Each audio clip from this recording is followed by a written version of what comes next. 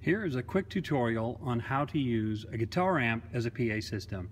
The thing that makes it all work and all magical is a gadget like this. You don't have to get this particular one. There are many out there on the market. Um, you can't plug a microphone directly into uh, a, uh, a, line input or an instrument in, input jack because it's the wrong impedance. It's the wrong level.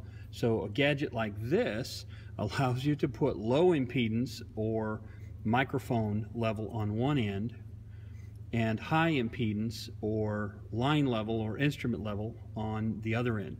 Line level and instrument level are a little bit different, but uh, that's why you have volume knobs. Okay, here's how to make it work. Okay, we have the amplifier, we have the uh, impedance transformer, we'll just call it an adapter for now for fun, a classic uh, dynamic microphone, and a classic XLR cable.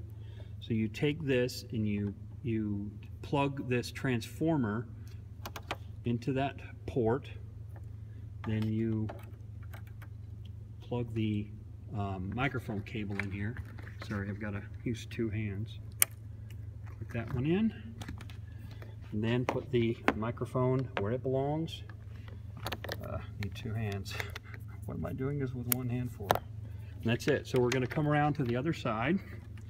I'm going to turn this on and we'll give it some volume. And we'll take this and go. Testing one, two, three. Testing one, two, three. So this is a 15 watt amplifier that'll max out at about 30 watts, which is not very significant. But we've got a pretty big room in here, and it's filling up the room, and I'm only partly turning it up. Let me turn it up a little more.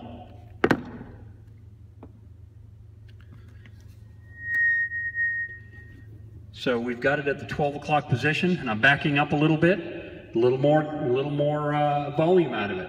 And you heard a little bit of feedback, but this is a very bouncy room, a lot of hard uh, surfaces bouncing the signal back. Not a big deal. Uh, when we use it for real, we'll plug in uh, a longer cord. There you go. Enjoy.